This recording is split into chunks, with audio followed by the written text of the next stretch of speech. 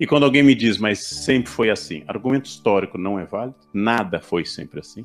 Argumento sociológico não é válido, todo mundo faz assim. Há 30 anos ninguém usava cinto de segurança nesse Brasil. Campanha, coerção e consenso. Multa e campanha.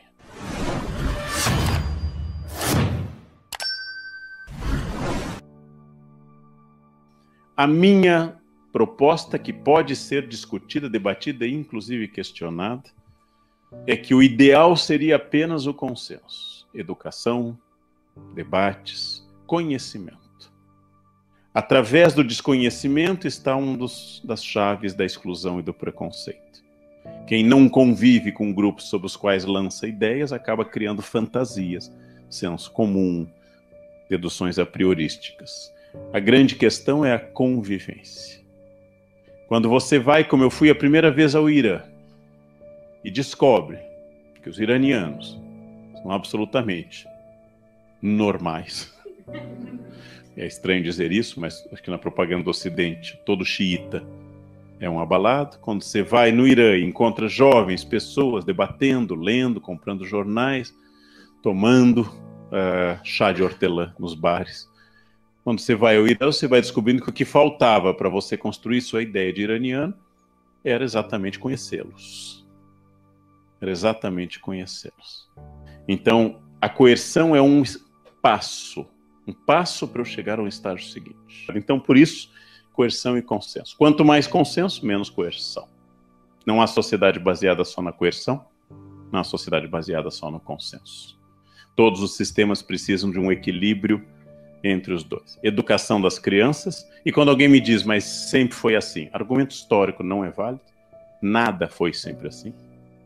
Argumento sociológico não é válido, todo mundo faz assim. Há 30 anos ninguém usava cinto de segurança nesse Brasil. Campanha, coerção e consenso. Multa e campanha. Há 50 anos tomávamos banhos de namor e de sereia. Ficávamos no chuveiro ou na banheira horas porque a água era infinda. Nossos filhos e netos têm muito mais consciência ecológica da água do que nós, graças à escola. Então tudo mudou e as pessoas. Né, quando eu vou a um país onde não existe fila preferencial para idosos, eu noto que nós demos um passo, inclusive na consciência das filas. E aí, encaminhando à conclusão, como eu disse num debate na Fiesp, é muito curioso, que eu fui chamado por causa da questão de cotas, é muito curioso que a sociedade brasileira aceite perfeitamente que passe à frente, ou seja, que eu quebre a isonomia, quem for idoso. A sociedade aceita perfeitamente que eu quebre a isonomia se for gestante, portador de algum problema de motricidade, que passe à frente. A sociedade aceita sem contestar que quem comprou primeira classe executiva passe à frente e quebre a isonomia. A meritocracia da chegada. A sociedade aceita sem contestar, especialmente nos Estados Unidos, a figura do fast track. Eu pago para ir numa fila mais rápida. A sociedade aceita absolutamente todos os tratamentos VIPs dados por motivos de identidade, de gênero, de físico ou de dinheiro. Só não aceita as cotas. Isso é estranho. Ah, não, as cotas são injustas. Mas e o resto? É justo passar na frente porque tem mais dinheiro? Ah, isso é.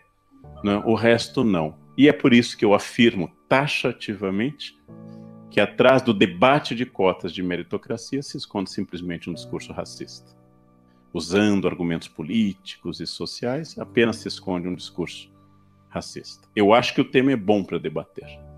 O tema é bom para debater, mas é sempre alguém que, no fundo, vai revelar algo desse jeito. Ah, as novas gerações vêm vindo um pouco melhores. E é importante dizer, como eu disse no livro, Ninguém nasce racista. Nenhum bebê abre os olhos e é um suprematista branco, por exemplo. Aliás, nenhum bebê também nasce com identidade étnica. Nenhum bebê e nenhuma criança nasce com preconceito. Eu preciso ensinar alguém a ser preconceituoso através do currículo formal direto e através do exemplo indireto. Para formar um cafajeste, eu preciso do exemplo de outros homens. Para formar um mau motorista, na cadeirinha o menino tem que ver o pai passar o sinal vermelho. E desde a cadeirinha ele vai absorvendo por osmose esse modelo. Ele vai esquecer tudo que aprendeu na escola, mas infelizmente isso ele não esquece nunca. Então, a minha esperança final, falando do consenso, é que se eu formei um preconceituoso, eu posso desformar também. Se eu ensinei preconceito, eu posso desensinar, porque é um aprendizado e é artificial, não é da natureza. É um aprendizado artificial. Essa é a aposta que se faz na educação, na educação tranquila das coisas, na educação clara e científica.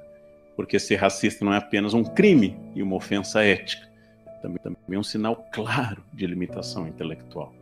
É o maior atestado que se passa de não ser inteligente.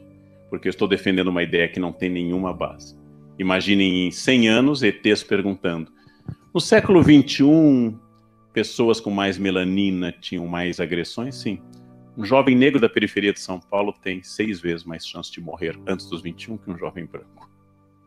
E o que, que provocava a melanina? Bem, menos câncer de pele. Ah, e era inferior. É. E o que, que provocava também a melanina? Menos envelhecimento. E os olhos escuros? Menos catarata. E era. era. Como é que você vai falar isso? E as pessoas de pele clara? Mais câncer de pele. E as de olho claro, mais catarata, mais envelhecimento. Você sabe, gente clara não envelhece, despenca, né? Apodrece em vida, né? Tem um momentinho bom depois, depois se vai. E aí eu vou ter que demonstrar que isso. Eu só estou usando essa ironia, porque ninguém é superior ou inferior, mas para dizer como é irracional. Como é absolutamente irracional. Querem uma outra irracionalidade? Mulheres vivem mais do que homens mulheres duram mais do que homens. Há mais viúvas no mundo que. Bom, não há viúvas no mundo, né? Já sai da missa de sétimo dia, já, já mirando na próxima, né? Mulheres duram mais, a chance de durar mais sendo mulher é enorme, porque mulher resiste mais à infecção na infância e vai mais a médico e faz mais exames, é mais cuidadosa e menos agressiva com armas de fogo. Mulheres têm uma sobrevida de, em média, 20% a mais do que os homens mulheres resistem mais à infecção. O homem doente, você sabe, um homem gripado manca. Ele, ele manca. E aí, eu vou ter que explicar um ET que essa mulher é o sexo frágil.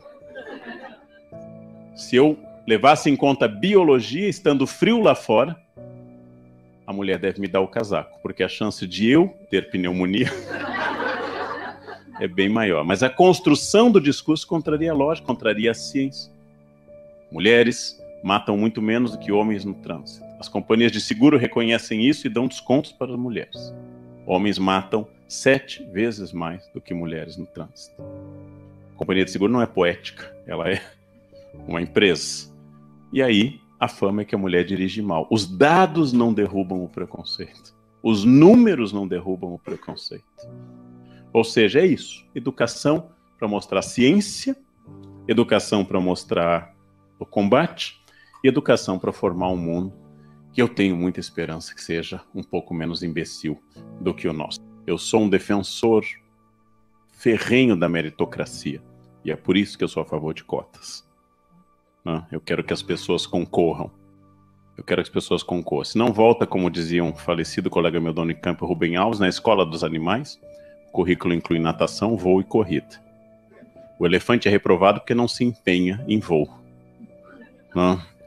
As cobras, na hora da corrida, são sempre deixadas para trás e o coelho vence. Apenas o ganso tira notas médias, porque voa mais ou menos, nada mais ou menos, e corre mais ou menos. Uma sociedade que estabelece, para só pegar um exemplo que eu acabei de estar num encontro na Inglaterra sobre cotas e meritocracia. Na Inglaterra, o, tal como no Brasil, o estágio é fundamental para a definição profissional. O que está acontecendo na Inglaterra? Todo estagiário está cada vez mais limitado a um grupo rico, que as empresas não estão pagando salário. Quem pode passar dois anos absorvido 12 horas por dia numa empresa? Quem pode viver de mesada. Então, essa pessoa que trabalha 12 horas, muita gente rica trabalha muito, trabalha 12 horas por dia, termina esse esse mereceu. Esse é eu quero a meritocracia. Eu sou a favor da meritocracia. Eu digo aos meus alunos: você chegará onde você quiser, mas exatamente para que ela corra é que eu sou a favor de cotas. E aí eu vou usar um argumento que eu usei na minha parte. Gente, a Veja defendeu cotas. Pense bem. Reflita. Reflita. A Veja publicou de capa. Matematicamente acompanhou 300 jovens e eu elogiei publicamente a reportagem. Publicamente. Não fez uma opinião, fez isso. Vamos para a segunda parte. Sim, eu defendo inclusive a inclusão via mercado. Eu defendo essa inclusão via mercado na medida em que exemplos positivos de sucesso, seja na mídia, como por exemplo Thaís e Maju, seja na mídia, por exemplo, através de bons exemplos, seja como consumidor. Nos Estados Unidos, o que acontece hoje é que, em geral, o grupo de negros está mais integrado à sociedade urbana da costa leste do que o tradicional latino imigrante mais recente, que hoje é a maior minoria nos Estados Unidos. Os negros não são mais a maior minoria. Então, também há um risco de acontecer o que aconteceu com o operariado inglês no século XIX, que é que, beneficiado pelos ganhos do imperialismo, o operário se tornou também imperialista. Há um risco de cooptação. Gostaria que a única inclusão não fosse pelo dinheiro, porque ela sempre vai significar uma exclusão por outro motivo que é a falta do dinheiro. Gostaria que houvesse a esse respeito uma reflexão, mas sem sombra de dúvida, tal como disse o Betinho numa palestra que eu estive presente, quando ele fazia campanha contra a fome e dava cesta básica, muitos acusaram ser assistencialista.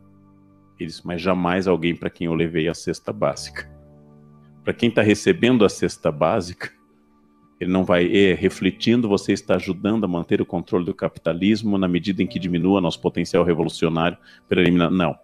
Para quem está com fome, a cesta básica não tem sociologia. Ela é. Ela existe. Né? Então, sou a favor desse, dessa inclusão via cartão de crédito, mas sempre acho que ela não pode instaurar uma outra questão Bem-vindos negros, bem-vindos gays, bem-vindos indígenas, desde que tenham renda. Afastem-se os que não têm. Então, mas na nossa septicemia atual, qualquer melhoria é, um, é um, uma grande questão. Uma grande questão. Já disse em dois livros o seguinte: entre 1831 e 1845, especificamente, o Brasil teve episódios como a balaiada, a sabinada, a cabanagem, a Guerra dos Farrapos, e mais recentemente nosso foco está no episódio de 1835, que é a Revolta dos Malês em Salvador. Uh, nós tivemos Revolução Federalista, tivemos Revolução Constitucionalista de 1932, tivemos muitos episódios, e nunca o livro didático brasileiro caracterizou qualquer um deles como guerra civil. Guerra civil é dos Estados Unidos, guerra civil é da Colômbia, mas quando todo o Exército Nacional promove quatro expedições para destruir uma cidade que é Canudos, quando pela primeira vez na história aviões são usados sobre a população do contestado entre Santa Catarina e o Paraná, nós estamos numa guerra civil.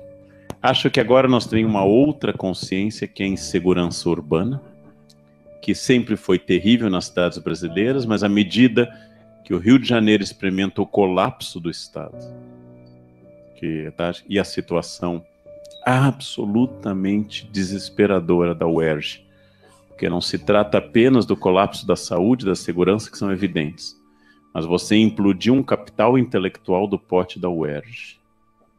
Não é só perder um grupo de professores, você perde décadas de pensamento, décadas de pensamento. Então, se houver uma bonança econômica no futuro, eu não sei o que nós levaremos para outro lado. O que nós vamos levar. Sobre a questão do respeito, a gente podia conversar bastante. Eu acho que tem dois patamares distintos. Um é aquela, aquele respeito necessário, indispensável para a existência ou a convivência das pessoas. E esse tem que ser debatido, como diria um filósofo de rua aqui do Rio, gentileza gera gentileza. Acho que isso é uma questão.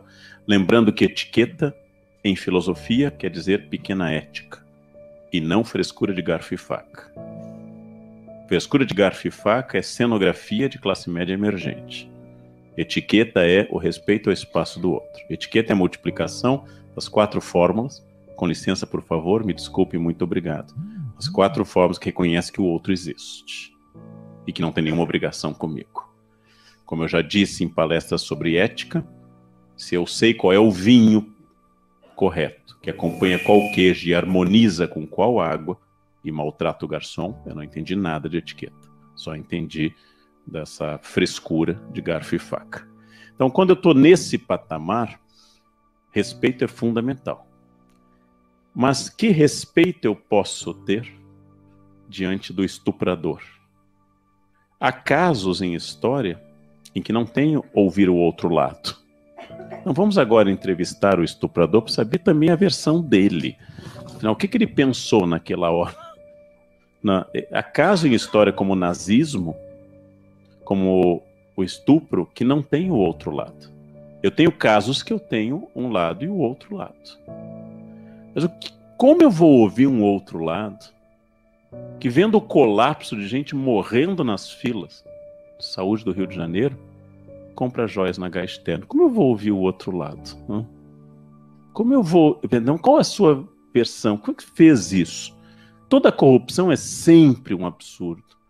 Mas tem casos como o roubo da merenda escolar em São Paulo que não tem outro lado. Não tem o contraditório que é a base da justiça. Né? Contraditório é uma discussão interessante. Mas por que, que a senhora roubou isso ou aquilo? Enquanto as pessoas morriam na rua. Não? Difícil. Então, eu acho que o respeito pressupõe, em primeiro lugar, isonomia na discussão. Não existe a possibilidade de respeito quando um dos lados está armado, ou tem a chave do cofre, ou é simplesmente o lado ladrão. Então, respeito na, na conversa e no trato com as pessoas é fundamental. Mas aí eu uso um argumento que é de uma feminista norte-americana e de Gandhi também. Os dois dizem a mesma coisa. Eu tenho que lutar para tirar a Índia do controle inglês, não apenas pelo direito óbvio da Índia, mas para tirar dos ingleses o peso de serem dominadores. Então eu diria que eu sei que é difícil, complicado ouvir isso, mas uma das tarefas do feminismo é fazer os homens se encontrarem. É fazer os homens descobrirem que é possível ser feliz. Que não precisa ser macho, basta ser feliz que não precisa ser sempre forte, sempre duro, precisa ser, que ele pode ser feliz. Os homens são aleijados culturais quase sempre, porque em parte por culpa também das mães, ouviram desde a infância que o homem não chora, que o homem não se emociona. Para de pensar como mulherzinha. Isso foi dito desde a infância. Não é fácil. Quero dizer isso, não é fácil. É um peso de uma representação social que tem um custo altíssimo. Eu acho que libertar-se do preconceito é um gesto instaurador de liberdade interna, em primeiro lugar, mas é também um gesto instaurador é, de um papel, talvez, do respeito social, né? Libertar as pessoas do equívoco, fazê-las um pouco mais felizes, inclusive. Eu sei, acho que eu, eu tenho muita, apesar de ser ateu, eu tenho uma longa formação cristã, eu sempre tendo ao martírio, ao, a ideia a redenção. sacrificada, a redenção, a redenção de cana, sempre tendo a isso. Né? Eu entendo quem diz, não, os homens que se ferrem, eu já tenho, eu entendo isso, né? Eu entendo isso, mas de novo, eu não quero substituir a opressão de um pela de outro. Não, não quero substituir uma coisa por outra. Eu não quero substituir, e eu tenho reclamado, reclamei hoje isso em Búzios, 400 diretores de escola, não quero substituir a opressão dos professores e diretores pela opressão dos alunos. Eu quero uma escola criativa e construtiva sem opressão. Sem opressão. E não uma coisa por outra. Nunca é a substituição. Senão nós voltamos àquela história. Quase sempre uma revolução gera um poder mais autoritário do que a causou é a derrubada de um poder corrupto e autoritário de Nicolau II que gera Stalin. A derrubada da Revolução Francesa gera Napoleão e uma ditadura de 16 anos absolutamente corrupta e autoritária. Então é isso que tem que ter cuidado para não substituir uma coisa por outra. É complicado, isso daria uma outra, outra reflexão de filosofia da história. Em geral, se diz, e a questão é muito interessante, que quando você não enfrenta o problema de uma violência, ela vai assombrá-lo por muito tempo. Então, por exemplo, para dar uma pista a vocês, éramos 90 milhões de brasileiros até 1970. Quando eu era estudante, o número de desaparecidos era de 1.500 e poucos. Ele diminuiu com a Comissão da Verdade, aliás, curiosamente. O número de desaparecidos diminuiu com a Comissão da Verdade.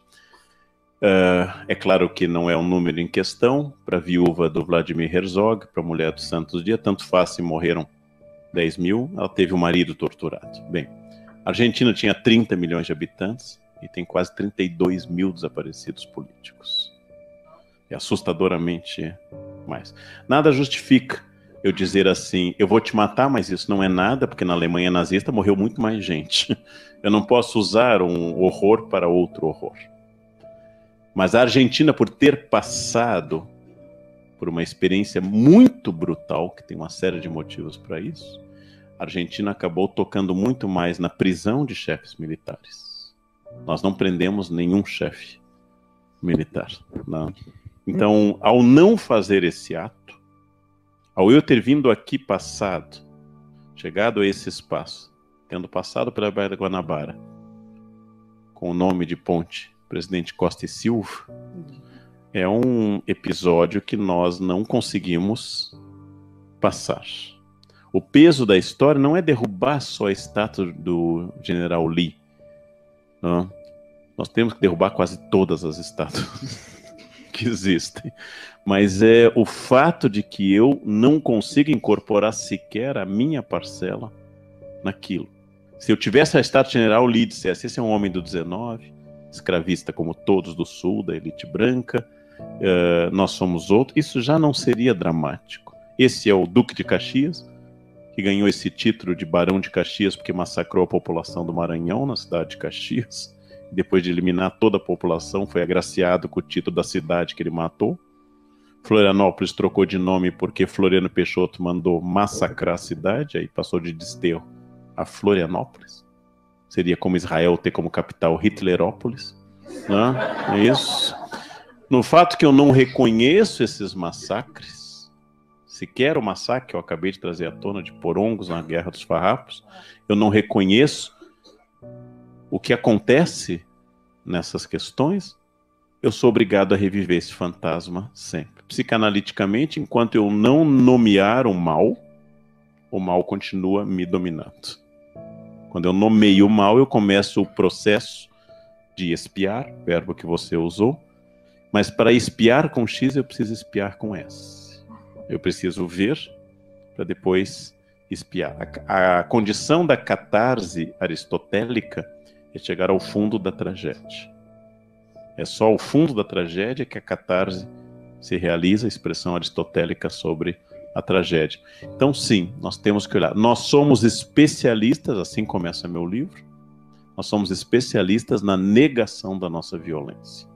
Somos um país pacífico, somos um país sem terremotos, somos um país tranquilo e assim por diante. Isso é um equívoco. Isso é um grande equívoco. Bom? E nós temos muitas e constantes violências. Bom? Isso é preciso trazer à tona para superá-las, inclusive. Nós somos sempre todos iguais. Não entro no mérito do argumento do macaco, nosso primo mais próximo, quase irmão. 98% do nosso código genético é idêntico, inclusive do Trump. Então, lembrando que há macacos ruivos, como os orangotangos, há macacos escuros, macacos claros, todos são macacos, mas é que uh, o conteúdo semântico, o significado é maior que o significante nessa expressão. É? Então, por isso que é agressivo.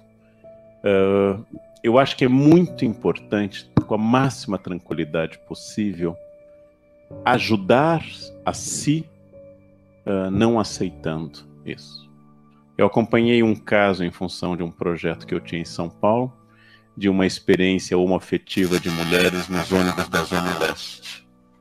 E essas mulheres que entravam no ônibus de mãos dadas sofreram no início algumas agressões, mas elas reagiram de tal forma e com tanta fúria que nunca mais houve agressão, porque todo mundo passou a morrer de medo de agredi-las. É, é um problema esse argumento, porque no fundo ele quer dizer que a culpa do preconceito esteja na pessoa que não reage. Não é verdade. Não é verdade isso. Mas é verdade, isso talvez seja a coisa mais dolorosa que eu posso dizer essa noite. Eu preciso concordar em parte com a agressão para que eu não reaja. Como você disse, eu não me senti com o direito de estar ali. Eu preciso incorporar isso. No momento que eu incorporo que a pessoa tem razão, de alguma forma, é isso. Então, o primeiro passo é não incorporar por um discurso medonho, não incorporar o preconceito do outro. Esse é o primeiro passo. E o segundo é lembrar, com a máxima tranquilidade possível, que além de ser crime inafiançável, uh, isto é, uma ofensa a toda a humanidade. Uh, isso ofende a todas as pessoas, negras ou não, quando um ser humano é desqualificado por qualquer motivo. Qualquer ofensa desqualifica toda a espécie humana. O que significa que é muito complexo, mas nós precisamos enfrentar abertamente isso. Abertamente. E, precisamos tratar dessa questão para que não se repita mais isso. A Casa Grande e a Senzala continuam existindo. A frase você sabe com quem está falando é uma das criações mais perversas da nossa cultura. Como diz meu colega Cortella, a única ocasião que essa fase é plausível é na fase final de Alzheimer. Quando eu tiver esquecido de quem eu sou e por caridade eu peço aos senhores, por favor, você sabe com quem você está falando, aí ela é plausível. Né? Somos uma sociedade que, por natureza, não apenas a brasileira, na verdade ataca todo elemento que, que você identifica fraqueza. Então, a mulher, travesti, prostituta, homossexual, pobre, sempre que você identifica fraqueza, você faz isso. Quando a polícia examina, e lembrando que o policial é também, em geral, um pobre, quando a polícia examina com violência pessoas num ônibus, ela sabe que ela pode fazer porque essas pessoas foram educadas a não reagir. Ela não fará isso num, num carro de luxo. Porque ela pretende e imagina a reação. Então, a consciência do seu valor, que você expressou de forma emocionante, é um passo importante. Consciência do seu valor. Eu me ofendo quando uma parte da ofensa encontra eco em mim. Mesmo que a ofensa desse homem seja direta e criminosa, para que ela lhe machuque, ela tem que pegar em você. Uma parte sua tem que concordar. Se eu estou na rua e alguém grita cabeludo, eu não vou uh, dizer isso. Nada, porque além de não ser ofensivo, não é como eu me identifico. Não? É muito importante lembrar que o primeiro processo é sempre interno é sempre interno. Você merece estar em todo lugar a qual seu esforço te trouxe, porque mesmo que você fosse cotista, a cota não é mandada por Sedex. Você abre em casa e entra. Lembrando que o cotista faz vestibular, enfrenta também seleção. Uh, mesmo que seja qualquer um dos procedimentos, eu tenho que entender que aquilo não é não pode ser dirigido a mim. E se eu tiver essa consciência, eu posso, inclusive de forma tranquila, redarguir a essa pessoa. É preciso redarguir. Mas é preciso também ser muito firme e convidar essa pessoa a acompanhá-la a uma delegacia. Ah, é preciso anotar a placa. É preciso tornar público cada caso desses porque não se trata de uma idiosincrasia. Não se trata de um jeito, trata-se de um crime gravíssimo e constitucional. E a vitória do lobo, ela nasce da concordância das ovelhas. E eu preciso denunciar os lobos, inclusive pelo bem da próxima geração. Preciso fazer isso. Eu gostaria que não fosse assim, mas eu preciso fazer isso. Qual é o grande crime no século XX da Igreja Católica, entre tantos méritos que a Igreja Católica tem? Diante de um crime terrível de um padre pedófilo, ela transferia de paróquia. Ao invés de punir, tirava daqui e botava ali. Resultado, aumentava o leque de oferta do padre. E é por isso que a igreja foi condenada em indenizações milionárias na Irlanda e nos Estados Unidos se tivessem reprimido desde o primeiro instante, desde o primeiro instante, isso não teria assumido a proporção que assumiu. É claro que a maioria dos padres não é pedófilo. É claro que não são casos dominantes na igreja. Mas os casos não dominantes são gravíssimos. É preciso reagir àquilo que tende a crescer.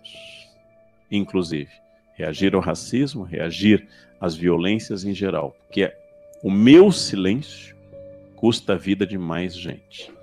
Aquele gritou macaca para você, manifestando uma série de coisas que não vem ao caso analisar. Outro pode atirar numa pessoa. Outro pode matar, porque se mata por causa da cor. Mas o ódio não está só na política, o ódio está nas redes sociais. Está no fato que as pessoas protegidas por duas questões. Primeiro, o anonimato provocado pela rede social, o afastamento do seu eu físico através de um nome, de um avatar, de uma presença.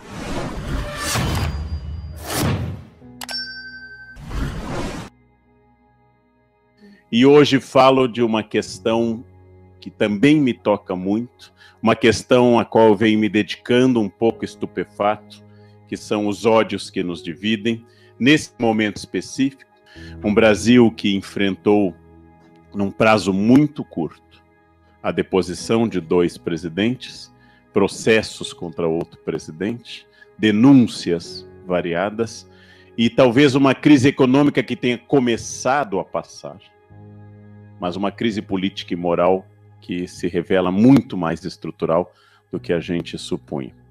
Para nós mais velhos, as crises econômicas são frequentes, mas a questão da falta de horizonte talvez seja a questão que mais incomode as pessoas. Eu acho que aos jovens em particular isso deve pegar bastante. Observar políticos que constantemente se insultam, constantemente se atacam, constantemente lançam, ao invés de análises, adjetivos. Observar a nação a partir do seu organismo mais democrático, que é ou que deveria ser, que é o Congresso Nacional. Interpretar que devemos e fazemos críticas ao Congresso Nacional, a sua atuação e não a sua existência, que a mais tumultuada das democracias é melhor do que a mais serena das ditaduras que o Estado de Direito é uma conquista extraordinária e que nada pode abalar nossa convicção no Estado de Direito, que as denúncias de corrupção só ocorrem porque nós estamos num Estado de Direito, com todas as imperfeições brutais do nosso Estado de Direito, que em períodos anteriores, em outras ditaduras, como a da Coreia do Norte, ou no Brasil de Médici, ou no Chile de Pinochet, os corruptos ou são amigos do ditador e não são perseguidos, ou são inimigos e são executados, mas não pela corrupção, mas por serem inimigos. Então, em meio a esse caos, eu lanço aqui meu primeiro voto de esperança. É a primeira vez na história do Brasil que nós temos um milionário rico preso. Em 517 anos de história. É um grande avanço. Prisão no Brasil não foi feito nem para brancos, nem para ricos. Ter um milionário branco rico preso é um gesto extraordinário. É a primeira vez que prendemos políticos do sistema vigente e não da oposição anterior, já que ética no Brasil era o que se cobrava do sistema derrotado, ou seja, do governo anterior. Os militares investigando Juscelino Kubitschek, Collor investigando Sarney e assim por diante. Pela primeira vez é do sistema vigente. Isso constitui avanços naturalmente. Mas o ódio não está só na política, o ódio virulento e quase extraordinário está nas redes sociais. Está no fato que as pessoas protegidas por duas questões. Primeiro, o anonimato provocado pela rede social. O afastamento do seu eu físico através de um nome, de um avatar, de uma presença. E faz com que as pessoas tragam à tona aquela situação que grandes autores, como no livro O Senhor das Moscas, The Lord of the Flies, aparece quando se está numa ilha deserta. Ou então em todas as ficções, quando se vai para uma ilha deserta e isso traz à tona o pior das pessoas, tirar da casca da civilização. A internet introduziu, em primeiro lugar, esse anonimato e a possibilidade de eu verter todas as minhas dores, acompanhada de uma capilarização muito curiosa. A grande crença contemporânea, que a minha opinião deve ser sempre, sempre presente, que é provavelmente uma reação à nossa irrelevância. O fato de que nunca fomos tão irrelevantes, tão insignificantes, tão terrivelmente rebaixados na nossa opinião, que a internet se torna importante. Talvez seja o jogo mais sofisticado do controle contemporâneo que a internet possa ter se tornado quase que a voz dos derrotados.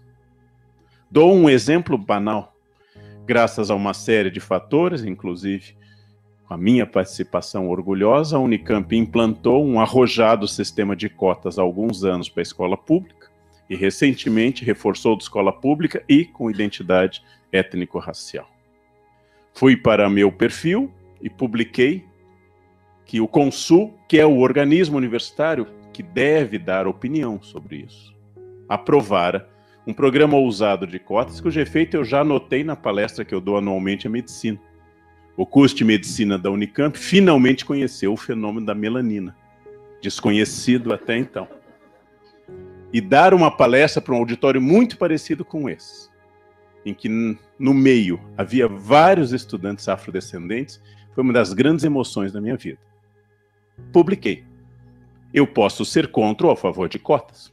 Isto é uma expressão, é um caso complexo. Eu entendo, eh, não aceito, mas entendo quem seja contrário, porque eu sou a favor. E já me perguntaram, mas por que o senhor é a favor? Ah, o argumento é, é muito curto, né? Porque eu sou historiador. Ele é muito curto, ele é muito curto, não tem, não dá para enrolar muito. Mas não é esse o foco, apesar de que eu vá falar de racismo, um tema que me toca tanto. Eu tive quase 17 mil opiniões dizendo eu sou contra. E eu dizia nisso, não há problema nenhum, a democracia pressupõe esse debate. Porém, já foi aprovado. Já está em vigor você está sendo como o velho da Praia do Restelo. Ele está vendo Vasco da Gama ir embora e diz, ó, oh, glória de conquista, ó, comigo. Mas ele não pode fazer sêmen algum para dizer uma coisa elegante a essa hora. Ele pode expressar sua opinião, mas sua opinião é relevante. Ele é a voz popular dos Lusíadas, a única, por sinal, a única voz popular que Camões coloca. Mas é muito interessante que é sobre um fato consumado. E eu passei então a fazer um teste, porque eu testo na minha fanpage a humanidade. Eu passei a fazer um teste de psicologia social. Comecei a postar sobre episódios passados 100 ou 200 anos, como a Batalha de Porongos, o Massacre de Porongos, um trágico episódio da Revolução Farroupilha, em que os lanceiros negros, quando se aproximou o fim do movimento, eles haviam sido cooptados pela elite latifundiária dos farrapos. Quando se aproximou o fim do movimento, havia medo dos dois lados, lanceiros negros armados. Então se reuniram todos num local, seu comandante branco se afastou e as tropas imperiais massacraram os lanceiros negros. Episódio pouco tratado da Revolução Farroupilha, sobre o qual a um documentário recente para quem eu dei uma entrevista, e eu falei de um episódio ocorrido em 1844. Então, praticamente já terminado. Mais uma enxurrada de opiniões. Eu sou contra, eu sou a favor, etc. Eu vou começar a colocar na internet assim, caiu a Bastilha, para ver se as pessoas colocam. É provável que hoje as pessoas tenham essa diluição de tal forma do seu Narciso e da sua impotência, que esta ferida narcísica, usando linguagem freudiana, se transforma na necessidade de expressar como uma espécie de último manifesto em função da nossa irrelevância. Como nosso voto é pouco relevante, como o sistema político não contempla muito nossa opinião e a contraria ocasionalmente, a internet torna-se quase que um opiáceo. E um opiáceo onde esses ódios podem aparecer. Bem, da mesma forma, a cena de um jovem branco da Ku Klux Klan atropelando manifestantes nos Estados Unidos, sobre a qual acabei de escrever um texto quase, quase assim, irado, tentando ser racional para o Estadão, dizendo que, vou adiantar o texto que vai sair no Estadão, uh, vou adiantar a vocês porque escrevi, hoje eu saí às quatro da manhã da Praia do Forte, na Bahia, e escrevi no avião vindo para cá. Os assassinos estão ali, mas quem os autorizou está na Casa Branca interpretou o adjetivo Casa Branca como substantivo. O homem que está na Casa Branca achou que é por ser branca. Deve. E é um, também uma lição, uma lição importante. Quando foi eleito Barack Obama, com todos os problemas do governo Obama, principalmente minha crítica à sua política externa, né, não ter fechado Guantánamo, ter mantido as forças no Oriente Médio, como qualquer presidente republicano, mas isso é secundário.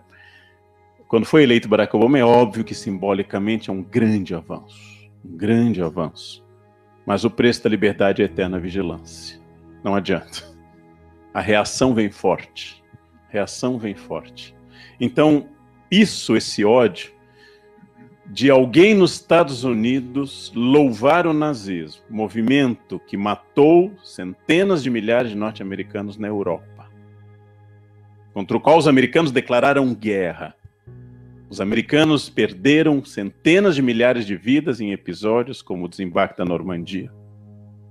O nazifascismo ter um adepto dentro dos Estados Unidos é claro que é, em primeiro lugar, uma ignorância da história. Mas também eu quero trazer à tona que há alguns anos foram presos seis neonazistas aqui em Niterói. E como eu trabalho com expressões de ódio, eu fui atrás da biografia deles. Mas antes da biografia, eu me deparei com o fenótipo. Os presos em Niterói não eram, não tinham o típico physique du rôle, como ele chamava, o tipo físico ariano. Pelo contrário, estavam mais próximos da, do tipo moreno clássico brasileiro. E eu tinha vontade de entrevistá-los e pensar: você sabe que se houver nazismo no Brasil, quem vai inaugurar o campo de concentração é você. E aí eu comecei a me dar conta, eu sei há muito tempo que todo grupo alvo de preconceito responde às vezes internalizando. Porque já entrevistei mulheres misóginas, negros racistas, judeus antissemitas e gays homofóbicos. Já, já entrevistei pessoas assim. Não? Uh, já entrevistei pobres demofóbicos, não? reclamando da pobreza, não como situação, mas como crítica a ser pobre. Então, eu acho que esses grupos catalisadores de ódio não são apenas o que são, como a Ku Klux Klan, como os menos conhecidos Cavaleiros da Camélia Branca, os Cavaleiros da Magnólia, Uh, eles não são isso exatamente. Mas o racismo, a misoginia, que é mais antiga e mais estrutural, o preconceito contra a mulher é mais antigo do que todos. Todos. E quando ele cruza o racismo com a misoginia, ele é particularmente fatal. Né? Mulheres negras uh, constituem o grupo mais fragilizado da espécie humana. Da espécie humana, não é só do Brasil. Hum? Então, quando você cruza esses preconceitos, esses grupos não são uma proposta de supremacia ariana. Eles são também isso. Eles não são apenas um racismo, mas é a capacidade, é isso que eu queria que nós começássemos a entender sobre ódio e preconceito, é a capacidade de reunir tudo que me incomoda e todas as minhas dores, através de uma espécie de conceito que em sociologia do tempo de Durkheim chamava de conceito portmanteau, um conceito que você de pendura o casaco. Eu não tenho uma vida sexual satisfatória. Eu não estou exatamente falando de mim, apesar de. Apesar de ser possível debater isso. Não tenho uma vida sexual satisfatória, minha renda é menos do que eu gostaria, minha aparência não me agrada, eu sou um redneck, eu sou o clássico caipira, que é o da Ku Klux Klan, uh, eu sou uma pessoa fracassada, eu me sinto humilhado por intelectuais, por gente bem-sucedida, nesse mundo contemporâneo, onde ser bem-sucedido é um imperativo categórico, um mundo cada vez mais competitivo, onde você não pode amparar sua mediocridade na estabilidade das sombras. Então, quem causa isso? É muito doloroso ter esse sentimento. Então eu vou encontrar no negro, na mulher, no homossexual, no militante, no sindicalista, seja no que for, a causa do meu ódio. Da mesma forma, para ser justo na análise, muitas vezes o militante vai encontrar no deputado conservador ou no outro a mesma causa do seu ódio. Tirar o seu esfíncter da ortogonal é um exercício profundamente tranquilizador. Ódio e intolerância não dizem respeito, e eu quero ressaltar a minha posição subjetiva, e vocês podem, nas perguntas, contestá-la. Eles não dizem respeito a dizer a uma tipologia, você não serve. Mas o que é definidor para essa tipologia é o que está atrás. Ou seja, toda vez que eu aponto e digo o Brasil seria um lugar perfeito se não houvesse X ou Y, eu estou sempre dizendo que atrás de mim existem as pessoas cuja identidade se constituem como a minha. Então, todo gesto de ódio é um gesto também narcísico. Todo gesto de ataque é um gesto de defesa.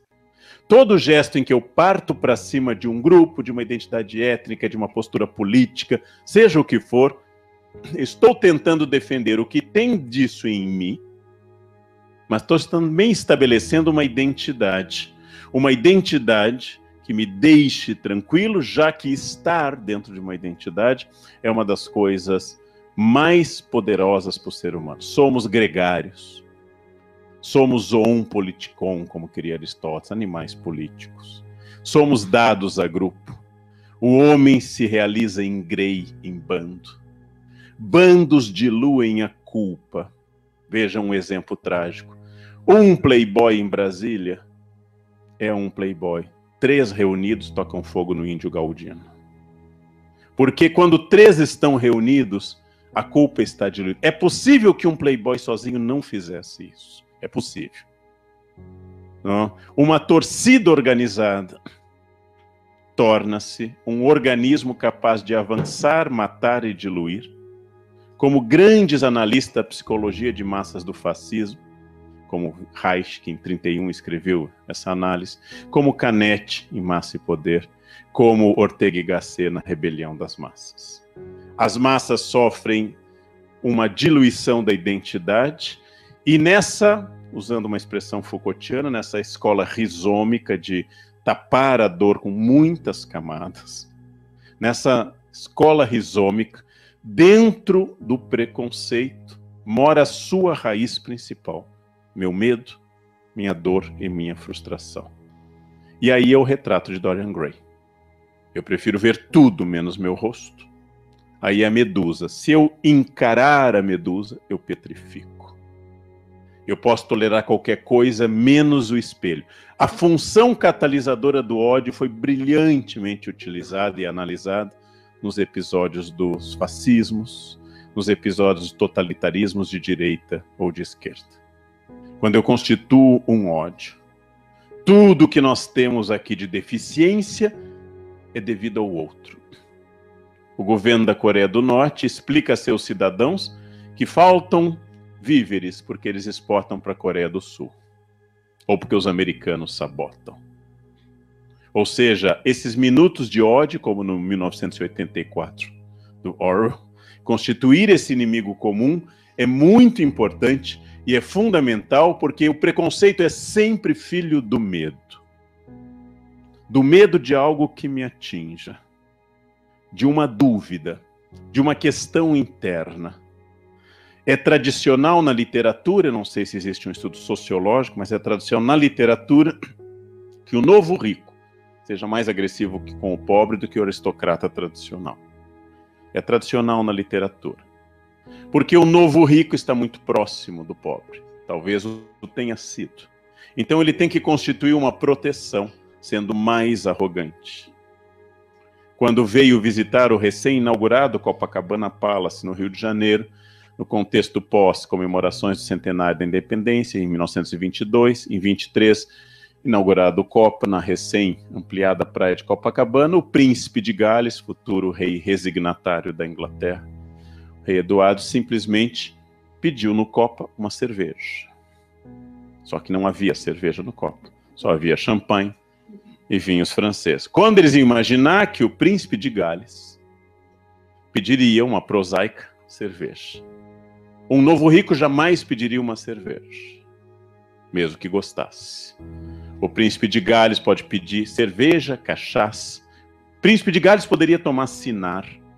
Poderia tomar sinar, vocês não sabem o que é, aquele da alcachofra que tem nos bares. Podia tomar uma branquinha, podia tomar o que ele quisesse, que ele continuaria sendo o príncipe de Gales. Não é um louvor à aristocracia, mas a percepção que diminuindo meu medo, é clássica análise psicanalítica de que a homofobia tem sempre relações com a dor dentro da minha sexualidade. Feliz com a minha esposa em casa, tendo uma vida sexual uh, satisfatória, completamente integrado na, no meu erotismo autorrealizado, jamais me ocorre duvidar qual é o orifício preferido do vizinho. Uh, Agora, se isso não é verdade, uh, não é, é complexo dizer, porque a opinião dos primeiros psicanalistas é que o, a agressão homofóbica é sempre o choque entre dois homossexuais. Uh, eu acho que não, porque a agressão racista não é o choque entre dois negros, e nem com alguém que queira ser negro. Por vezes o medo não tem relação com o real. Por vezes o medo não tem essa relação. A identidade que constitui o eu, a coletividade que constitui os outros, parece sempre autocompensatória do ponto de vista sociológico, porque quanto mais meu eu estiver esmagado por imperativos externos, mais eu quero buscar aos outros que esmagam de novo meu eu. Esse é um, um jogo muito complicado. É difícil existir nesse mundo contemporâneo. É difícil existir numa sociedade que obriga a uma contradição que pouca gente tem se dado conta e é bastante apontado pelo recém-falecido Zygmunt Bauman. Nunca fomos tão livres. Nunca antes na história desse país nós fomos tão livres para casar, para vestir, para escolher a profissão quando ela existe disponível no mercado. Nunca antes nesse país eu pude dizer com clareza que a validade do meu gosto determina toda a minha biografia. Nunca eu pude dizer aos pais, aos colegas, que eu vou escolher tal profissão, mas por quê? Porque eu gosto. E esse é um grande tema da contemporaneidade. Eu gosto. Mas você vai fazer isso, é o que eu quero. Quero fazer design. Aquele tipo de curso tem que explicar para a família, né? Ou seja, não sendo engenharia, medicina, direito, eu não, eu quero fazer uh, um curso de, de ciência política. O que, que é isso? Você vai se candidatar? Eu tenho que explicar à família. Sou livre para isso. E não obstante, jamais nós criamos mecanismos tão sofisticados de controle como agora. A começar pela coleira eletrônica mais extraordinária da espécie humana, chamada celular. A começar pelo fato que na democracia que nós vivemos no Ocidente, mais forte em alguns lugares, mais fraca em outros, o Estado atual, em estados plenamente democráticos como a Alemanha, Angela Merkel tem mais informações sobre os alemães do que Hitler teve. O presidente Temer sabe mais sobre a movimentação financeira de cada brasileiro do que o general Costa e Silva sabia. A democracia acompanhada de controle cibernético proporciona isso. Nós anunciamos aonde vamos, anunciamos o que compramos, publicamos, fazemos tudo e facilitamos esse controle. Controle que é desejado pela maioria. O ódio é uma zona de conforto. Ou como diz meu colega Sakamoto, é um lugar quentinho. O ódio é um lugar quentinho. Eu estava diante de um mistério. Entre os meus simpaticíssimos um milhão e, tantos de seguidores, havia muitos fãs que eventualmente liam um livro, às vezes compartilhavam um post, mas havia uma categoria que é o hater profissional. Três ou quatro deles, eu inclusive gostaria de consultá-los, porque são os únicos que leem tudo o que eu escrevo. Veem todos os vídeos, por mais repetido que seja o tema, que eu já dei 300 palestras sobre Beth, veem, analisam as diferenças das palestras idênticas, analisam meus posts, entram nas páginas de familiares e mandam constantemente: Eu te odeio, acho tudo que você escreve é uma bobagem, você é um idiota, você não é um intelectual e assim por diante. Mal sabe que isso é quase um elogio. É, é muito curioso. Ontem debati na Bahia e uma das pessoas disse: Você não entendeu, Leandro? Você não é um grande leitor de Nelson Rodrigues, não sou, sou um médio leitor de Nelson, que não há nada mais fiel do que o ódio. O amor fraqueja, o ódio nunca. A única relação fora a, a, a sanguínea, a única relação eterna de um ser humano é ex, ex-mulher e ex-marido. As outras passam, mas ex fica para sempre. O ódio é uma zona de conforto. O que fará essa pessoa se não tiver a mim para odiar? Porque o meu mistério era racional. Eu, Leandro, como é sabido, não tolero coentro. Não gosto. Entendo quem gosta, tento aceitar como parte da espécie humana e sua infinita variedade. Mas eu não tolero coentro. Provavelmente eu tenho aquela mutação genética que sente o gosto coentro como sabão, que é o que eu sinto. Sinto coentro como sabão. Sofro no Espírito Santo como moqueca, sofro na Bahia, sofro na Tailândia, sofro no México, sofro no Peru. Em todos esses lugares que, por algum motivo, compram aquilo e colocam aquilo na comida. Por não gostar de coentro, eu tenho uma regra: jamais peço coentro. Não sou alérgico, posso comer, como fiz ontem na Praia do Forte. Posso comer, não me causa prazer, mas posso comer. Mas podendo, eu evito. Como eu não gosto, eu evito. Aí vem o mistério. Por que, que alguns odeiam coentros variados e só comem coentro? Só comem coentro. É interessante isso. Essa é uma questão curiosa. Aí eu vou questionar o título que nós demos a esse encontro. O ódio que nos divide ou o ódio que nos reúne? Somos uma nação costurada arduamente e com vários problemas, com dezenas de episódios de guerra civil, apesar de nunca utilizarmos essa expressão, como eu comento no livro. Somos uma nação que inventou símbolos, como Murilo, Zé Murilo fala na formação das almas. Somos uma nação que compôs heróis, como é analisado na figura de Tiradentes. Somos uma nação que compôs quadros históricos, como aqui, vizinha, a biblioteca, podemos ver importantes quadros históricos que Pedro Américo e Vitor Meirelles tentaram traduzir a identidade nacional. Somos uma nação que no Estado Novo, mediante a ditadura, suprimiu diferenças para tentar forjar essa unidade. Somos uma nação.